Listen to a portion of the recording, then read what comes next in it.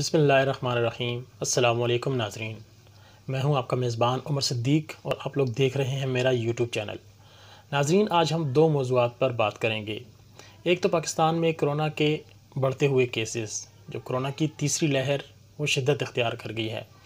اور سب سے بڑی جو آج کی اہم خبر ہے وہ یہ کہ وزیر اعظم عمران خان جو ہیں وہ بھی کرونا میں مبتلا ہو گئے ہیں۔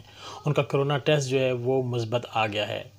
اس کے علاوہ آج ہم ایک اور اہم موضوع جو ہیں وہ زیر بحث لائیں گے، اس پر بات کریں گے موٹر وے زیادتی کیس۔ اس واقعے کے دونوں جو ملزمان تھے، ان کو انسداد دہشت گردی کی عدالت نے سزائے موت جو ہے وہ سنا دی ہے۔ یہ دو اہم موضوعات ہیں آج ہمارے پاس، جس پر ہم جو ہیں وہ آپ کو اس کے حوالے سے مزید جو ہے وہ اپڈیٹ کریں گے۔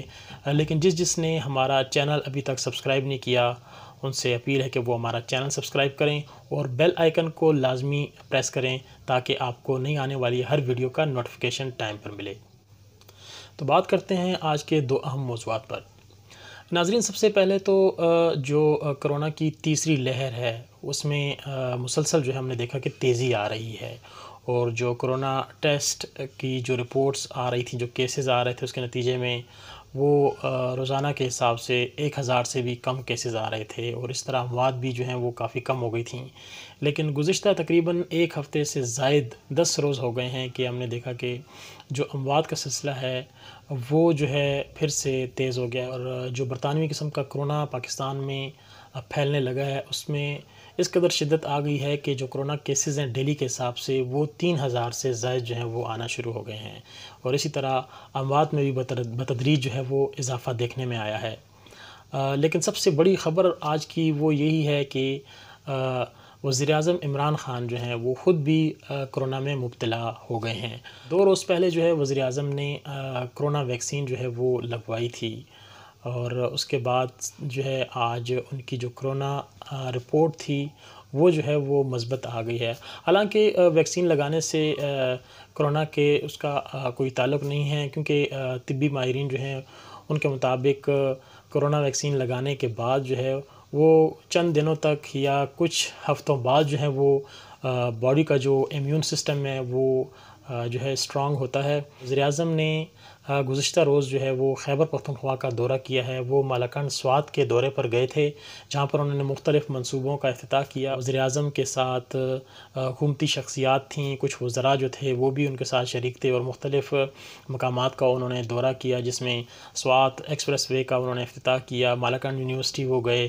تو اس طرح ان کا پورا دن جو ہے وہ سوات میں گزرا اور مختلف حکومتی شخصیات اور وزراء بھی ان کے ہمراہ تھے۔ وزیر اعظم کا کرونا ٹیسٹ مثبت آنے کے بعد اب جو وزیر اعظم سیکریٹریٹ کے جو ملازمین ہیں اور بنگالہ میں جو ملازمین ہیں وزیر اعظم کے، ان کے بھی کرونا ٹیسٹ جو ہیں وہ کرائے جائیں گے۔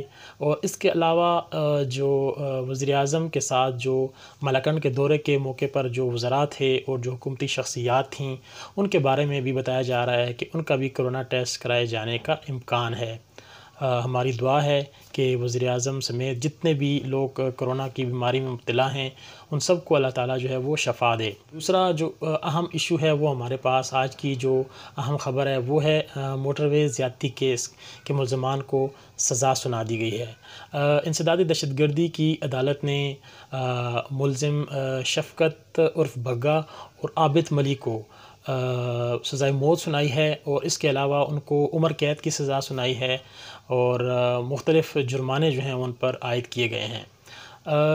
آپ کے ساتھ جو تھوڑا سا بیک گراؤنڈ میں جائیں گے کہ کب یہ کیس جو ہے سامنے آیا اور کب کب کیا کیا ہوا، ملزمان کی کب گرفتاری ہوئی اور کب سے یہ عدالت میں یہ ٹرائل جو ہے وہ ان مقدمات کا شروع ہوا ان دونوں ملزمان کے خلاف۔ ناظرین، یہ ستمبر دو ہزار بیس کا واقعہ ہے، جب ایک خاتون جو ہیں وہ لاہور سے گجرانوالا جو ہے وہ سفر کر رہی تھی موٹر وے پر اور اس دوران رات کے وقت ان کی گاڑی کا پیٹرول جو ہے وہ ختم ہو گیا اور وہ اندھیرے میں جو ہے وہ اپنے ہسبینڈ کو فونز ملاتی رہیں۔ اس کے علاوہ انہوں نے موٹر وے پولیس کو بھی کال کی اور ان سے ہیلپ لینے کی کوشش کی، لیکن کوئی بھی ان کی مدد کے لیے نہیں پہنچا۔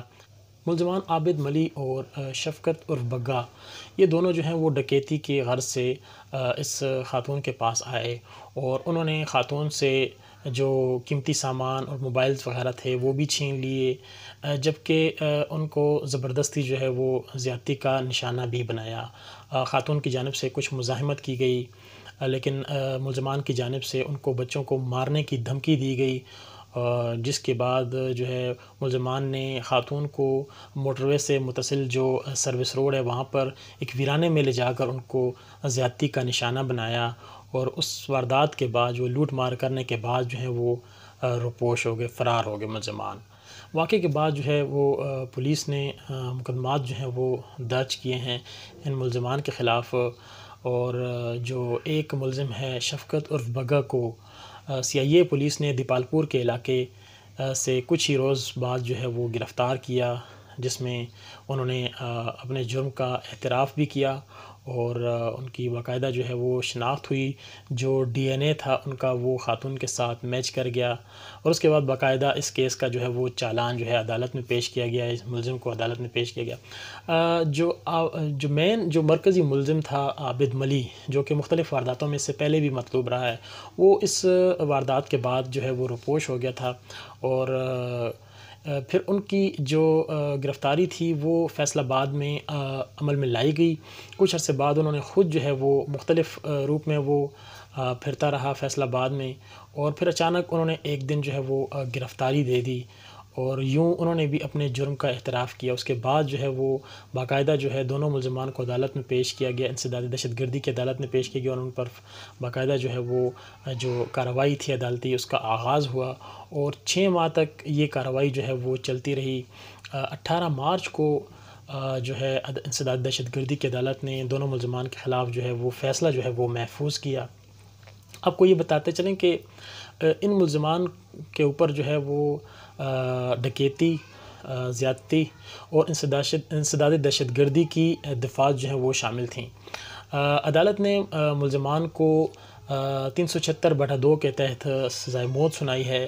اس کے علاوہ تین سو پینسٹھ، دفعہ تین سو پینسٹھ اے کے تحت ان کو عمر قید کی سزا سنائی ہے، جبکہ دفعہ تین سو بانوے کے تحت چودہ چودہ سال جو ہے وہ مزید قید کی سزا ان دونوں ملزمان کو سنائی گئی ہے، جبکہ ان کے اوپر پچاس پچاس ہزار روپے کے جرمانے بھی عائد کیے گئے تھے۔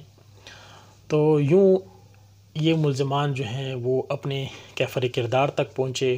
ناظرین، یہ تھے دو آج کے اہم موضوعات۔ ایک نئی ویڈیو کے ساتھ آپ کی خدمت میں پھر حاضر ہوں گے۔ تب تک کے لیے اپنے میزبان عمر صدیق کو اجازت دیجیے۔ اللہ حافظ۔